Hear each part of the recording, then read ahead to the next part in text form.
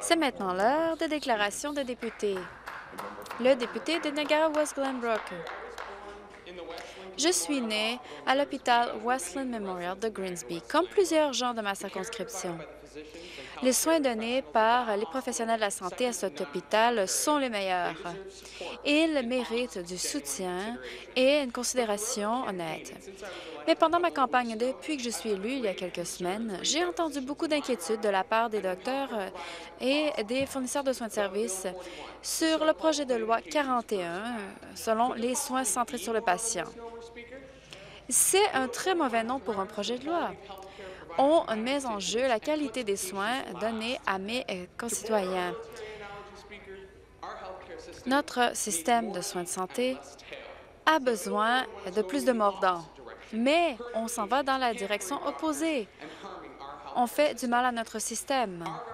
Notre gouvernement a un devoir envers ses médecins, une responsabilité de tenir des consultations ouvertes. Et avec le projet de loi 41, nous voyons le symptôme d'un gouvernement qui joue à la politique avec la santé des gens. Les patients et mes voisins méritent mieux. D'autres déclarations de députés, la députée de Windsor-West. C'est un plaisir pour moi de prendre la parole au nom des gens de Windsor-West. La mission Downtown de Windsor est très importante pour notre collectivité. Elle donne du logement, des vêtements, de la formation et de la nourriture pour les gens qui ont des problèmes euh, de pauvreté et qui sont sans abri. Cela rend Windsor un endroit plus sécuritaire et ce sont les gens qui y travaillent et qui sont bénévoles qui rendent cela possible. Alors j'aimerais tous les remercier pour leur travail acharné. En particulier, j'aimerais parler de Ronald Dunn. Il est un leader, un mentor et il a pu effectuer des changements dans la collectivité. Il euh, parle au nom de ceux qui vivent dans la pauvreté. Lorsqu'il a noté une augmentation de la domaine à cause des coûts de l'électricité, il n'a pas hésité à parler fort. Ron ne fait pas son travail pour l'argent. C'est plutôt quelque chose qui est, selon lui, son devoir à chaque jour. La personne qui est toujours là pour les gens pendant leur période difficile passe maintenant par un moment difficile lui-même.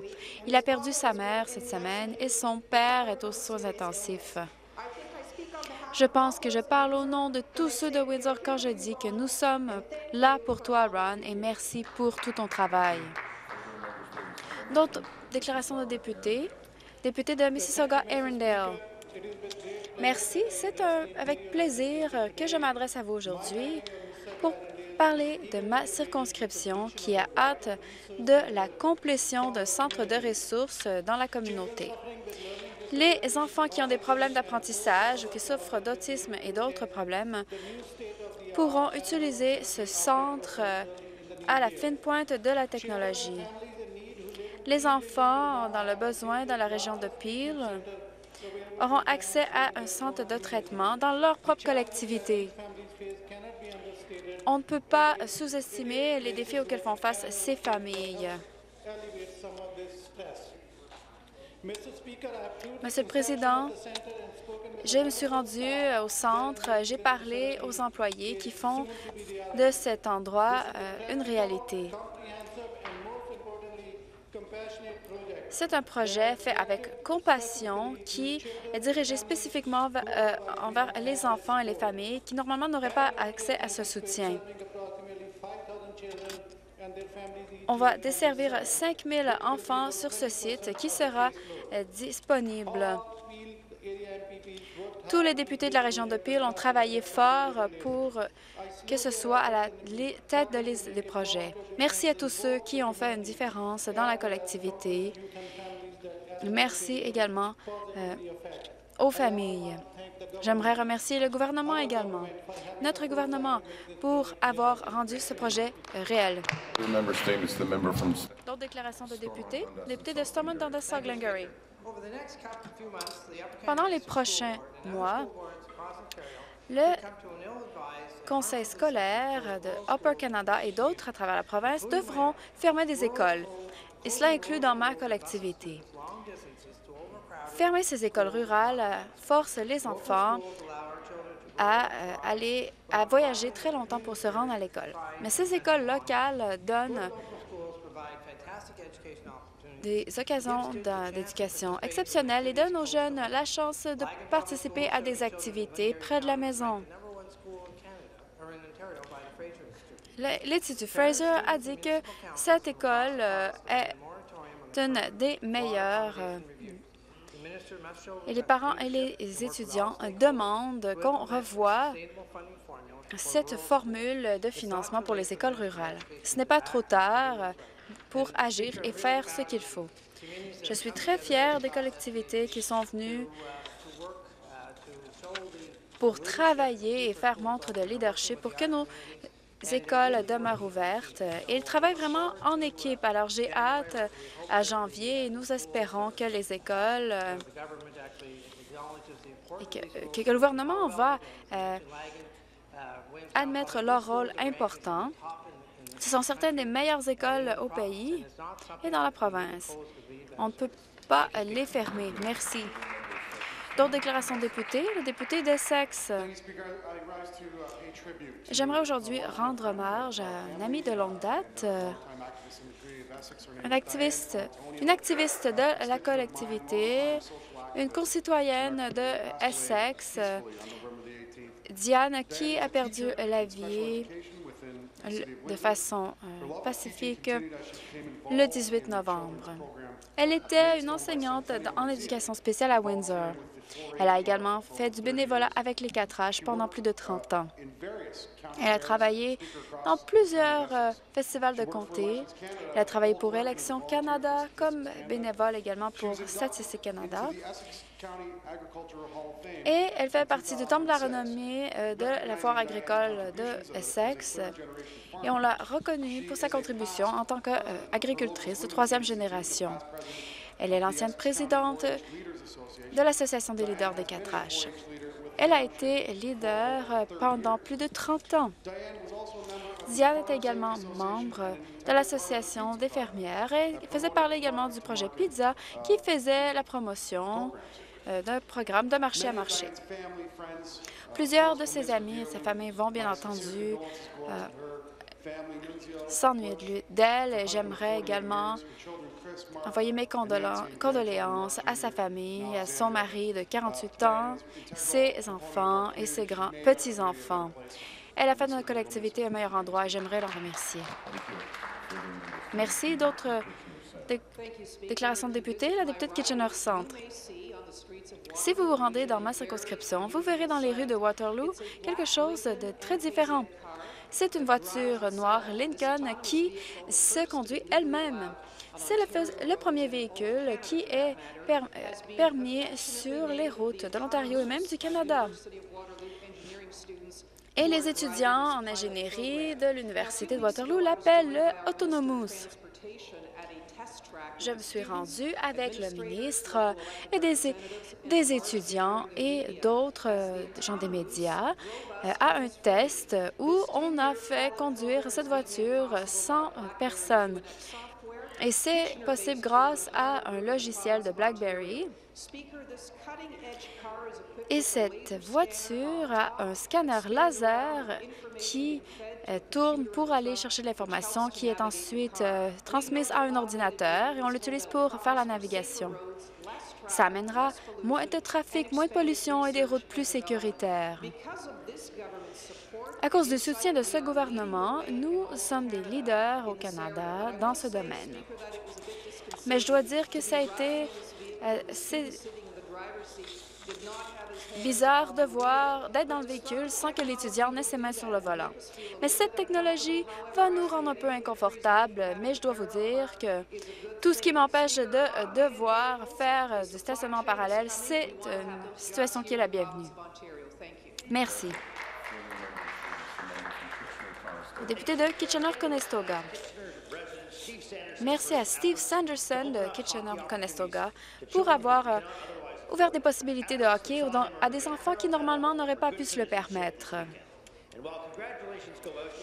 Félicitations à tout le monde et à ceux qui ont reçu des prix ce week-end, mais j'aimerais remercier Steve pour son programme Panthère de 2002. C'était il y a 14 ans que Steve Sanderson s'est demandé ce qu'il pouvait faire pour aider les jeunes qui ne pouvaient pas se permettre euh, le hockey. Il lui est venu l'idée de cette initiative basée à l'école qui donnait tout le temps de glace, tout l'équipement gratuitement aux étudiants entre les premières, les premières et sixième années. On a commencé avec des dons de la famille, des amis et de la collectivité, mais ce n'était pas assez. Alors Steve a acheté euh, le reste. Je suis heureux de dire que le programme a, cru une croissance importante et maintenant, il y a 145 euh, participants. Ils ont reçu 25 kits d'équipement pour les aider. Steve planifie à faire croître le programme et cherche toujours des bénévoles. Et bien entendu, j'aimerais, au nom de tout le monde ici et ceux dans cette famille des panthères, remercier Steve, une panthère et un bon citoyen de l'Ontario. Merci à Steve. La députée de Kingston et les Îles, je suis heureuse de partager avec vous l'annonce que Wei International de Chine a choisi Kingston et les Îles comme leur nouvelle maison et ils vont construire euh, une usine manufacturière de 40 hectares, 250 millions de dollars pour des euh, formules laitières pour enfants. Ce, sont des produits hypoallergéniques. À la réception la semaine dernière, j'ai pu, souhaiter la bienvenue à leur équipe de la Chine. Monsieur Lou, le vice-président, a remercié tous les niveaux de gouvernement et les partenaires pour avoir fait cette annonce historique à Kingston. La réception a souhaité la bienvenue à plusieurs niveaux de gouvernement qui ont coopéré ensemble. Et ça a été une des raisons, justement, pour laquelle ils ont choisi Kingston et les îles, parmi plusieurs autres villes en Amérique du Nord. Je remercie le ministre Lille et la première ministre pour leur discussion qu'ils ont eue ici à Queen's Park. On construit un Ontario plus fort qui agit et cet investissement historique va amener 200 emplois à temps plein.